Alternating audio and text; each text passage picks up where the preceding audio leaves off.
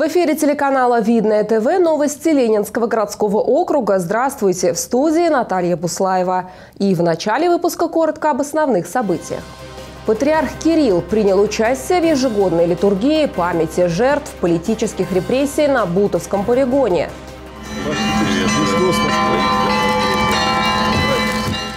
На станции Расторгуева провели очередной профилактический рейд. На протяжении нескольких лет мы проводим данные рейды, изучаем статистику. В Ленинском городском округе стартовал всероссийский кинопроект «Герой войны, герой спорта». Проект направлен на сохранение исторической памяти, о том, чтобы дети помнили историю своей страны. Патриарх Московский всея Руси Кирилл провел божественную литургию в память о мучениках, пострадавших за веру и жертвах политических репрессий на Бутовском полигоне. На мероприятии побывала и наша съемочная группа.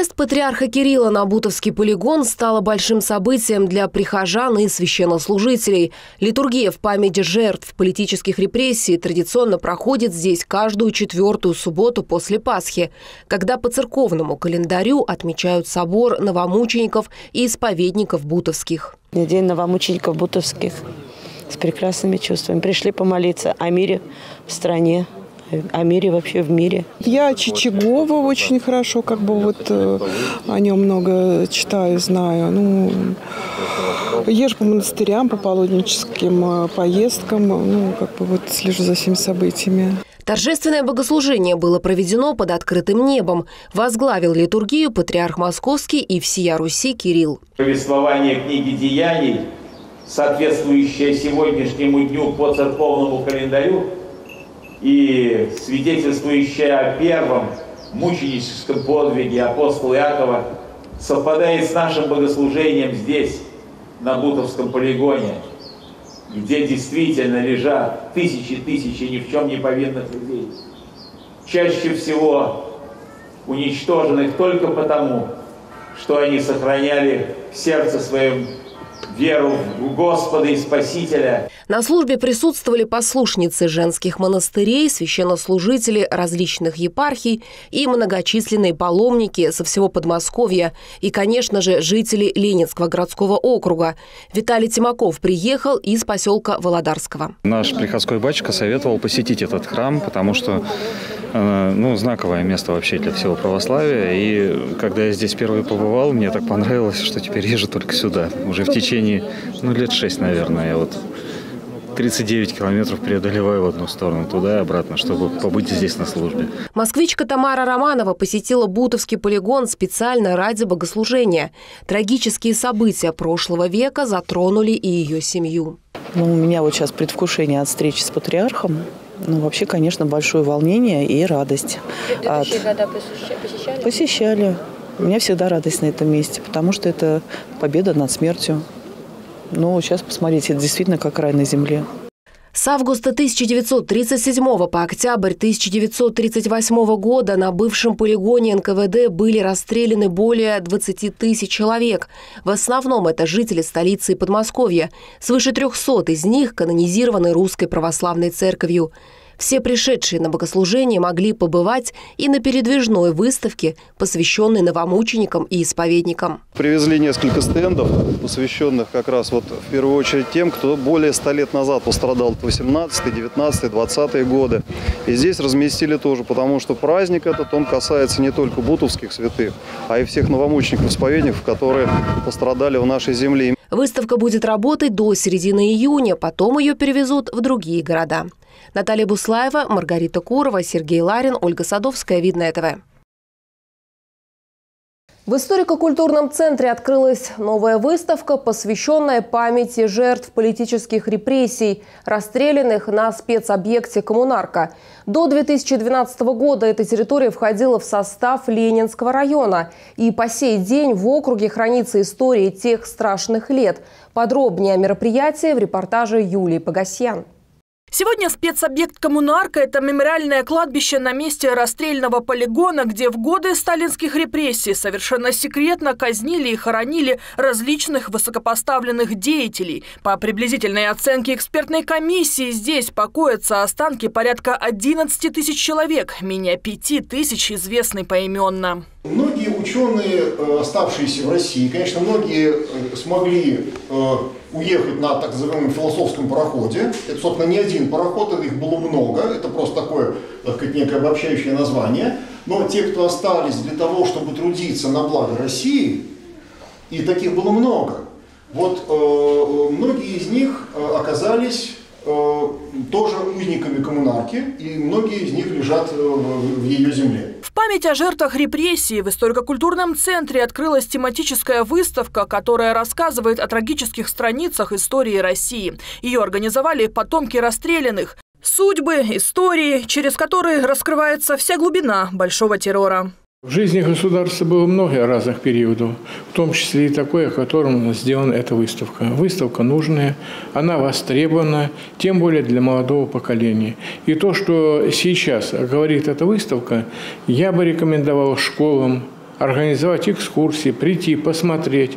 Да и взрослым есть смысл на это дело обратить внимание. До 2012 года территория коммунарки входила в состав Ленинского района. Сейчас это Новая Москва. В годы сталинских репрессий недалеко от спецобъекта находилось еще два места с трагической историей. Бутовский расстрельный полигон и Сухановская особорежимная тюрьма в Свято-Екатерининском монастыре. Жительница Расторгуева Вера Пинто также поделилась воспоминаниями о своей своих репрессированных предках. Дед-то мой был родной брат Людвига, которого репрессировали в 1939 году, и он отсидел 14 лет.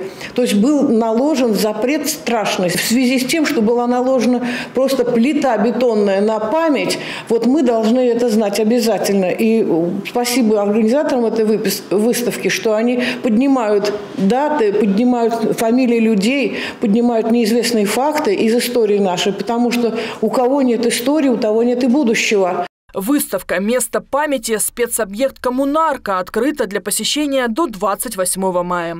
Юлия Погосян, Александр Логинов, Ольга Садовская. Видно этого. Специальная комиссия, в которую вошли представители полиции, администрации округа, ОАО РЖД и Видновского станичного казачьего общества, провела рейд на станции Расторгуева. Причиной визита стал несчастный случай, который произошел здесь совсем недавно. Подробности выяснял Максим Козлов. 25 тысяч человек ежедневно приходят на станцию Расторгуева, чтобы добраться до работы или дачи, отправиться на загородный пикник или прогуляться по Москве. Но, к сожалению, не все предпочитают попадать на платформу обычным путем через турникеты, выходят на пути и погибают. Люди попадают э, через опасные тропы, которые существуют э, вблизи платформ. Э, все перекрыть невозможно заборами. На протяжении нескольких лет мы проводим данные рейды, изучаем статистику, изучаем места, где произошли смертельные случаи. С начала года на железнодорожных путях Ленинского городского округа погибло три человека. Последний случай произошел 6 мая на станции Расторгуева. Здесь 45-летний мужчина решил сэкономить время и попытался переправиться с одной платформы на другую по путям. И эти случаи, увы, не единичны. Которые хотят пройти, пройти мимо турникетов, вот эти, конечно, нарушают. Иногда бывает, правда, опасно. Видишь, и видно, что это опасно. Ну, такой факт есть, да. Вот я на дачу езжу, там тоже нарушение есть в Кашире. Тоже там переходит не так, как надо. Впрочем, станция Расторгуева относительно благополучная. Больше всего нарушений и, как следствие, жертв приходится на платформу Калинина. И здесь рейды проводятся на постоянной основе. Тем не менее, именно в этом месте с начала года погибло два человека. Там нельзя ходить. Вот сейчас спущусь и доставлю вас в дежурную часть. Я вам серьезно говорю. Обратно разворачиваюсь и уходим. Но самое печальное, что свидетелями пренебрежения правилами безопасности становятся дети. Увы, но и они в этом году стали участниками опасных инцидентов на железнодорожных путях. К счастью, обошлось без жертв. В этом году произошел произошли два случая несмертельного травмирования. Это э, ну, детей. Один случай произошел на перегоне между Булатникова и Расторгуева, другое на станции Калинина. Сколько не вешай плакатов, но если сами люди не задумываются о своей безопасности, все усилия надзорных органов бессмысленны. Будьте внимательны и переходите железнодорожные пути только в оборудованных для этого местах. Максим Козлов, Александр Логинов, Гульнара Балаева. Видное ТВ. Всероссийский кинопроект «Герои войны. Герои спорта» стартовал в Ленинском городском округе. Это совместное детище партии «Единая Россия» и Министерства спорта Российской Федерации. Более 400 ребят, учеников школ нашего муниципалитета пришли во Дворец культуры «Видное» на показ фильмов «11 молчаливых мужчин» и «Блокадный футбол». Ленты рассказывают о том, как профессиональные спортсмены в годы Великой Отечественной войны сменили свою форму на гимнастерке и пошли защищать Отечество. Проект направлен на сохранение исторической памяти о том, чтобы дети помнили историю своей страны, помнили тех, кто в годы войны большой внес вклад в эту победу. Показ посетили и спортивные звезды видного мотобольная команда «Металлург» и ее руководитель Валерий Нефантьев. Мотоболисты призвали ребят не забывать о спорте в любые времена. Это в первую очередь для нашей молодежи, чтобы они понимали, как сложно давался раньше спорт и какие сейчас есть возможности, чтобы у них в голове был, откладывались мысли о том, что сейчас это все более доступно и надо заниматься спортом. Ребята с интересом смотрели фильмы, многие познакомились с картинами впервые. История, воспоминания важны, чтобы не забыть это, логично же, и помнить об этом, чтобы не совершить похожих ошибок. И важно напоминать об этом нашему поколению и следующему поколению нести это все дальше и дальше как бы масс. В рамках проекта «Герои войны. Герои спорта» в образовательных учреждениях, спортшколах, досуговых центрах по всей России не только проходят кинопоказы, но и организуются встречи с прославленными спортсменами и тренерами. В проекте активно участвуют более 72 регионов страны. «Объявите меня, пожалуйста» – это уже третья по счету авторская программа клоуна Алекса. Под таким названием на этот раз прошла в Расторгуевском парке. Ее участниками стали артисты инклюзивного клуба «Дорога в жизнь», а также известные видновские исполнители Борис Гуреев и Михаил Бондарев. Наш мобильный репортер не смог пройти мимо. Не заметить происходящее действительно было сложно. Парк на два часа наполнился музыкой и веселым настроением. Артисты в прямом смысле слова зажигали. Сердце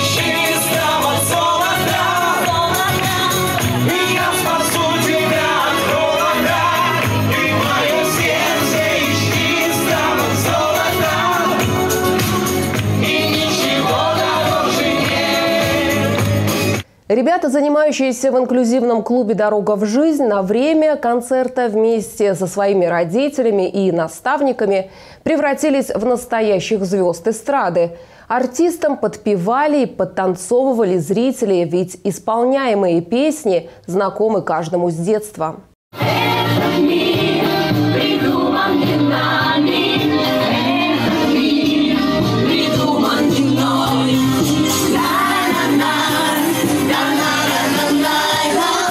А рядом расположилась ярмарка. Здесь предлагали приобрести эксклюзивные вещи, статуэтки, тарелки, вазы. Все сделано руками участников клуба «Дорога в жизнь». Говорят же, талантливые люди талантливы во всем. А завершилась программа исполнением авторской песни участника клуба Роберта Маретова. Пели все. Посмотри